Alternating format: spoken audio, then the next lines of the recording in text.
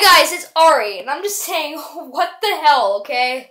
You guys hit my videos with major dislike bots the other day, and I know a few of you are awesome subscribers, and I love that. I appreciate you guys a lot, but I hope I can get you on the screen here, but my beautiful face, um, three likes and four dislikes in five minutes.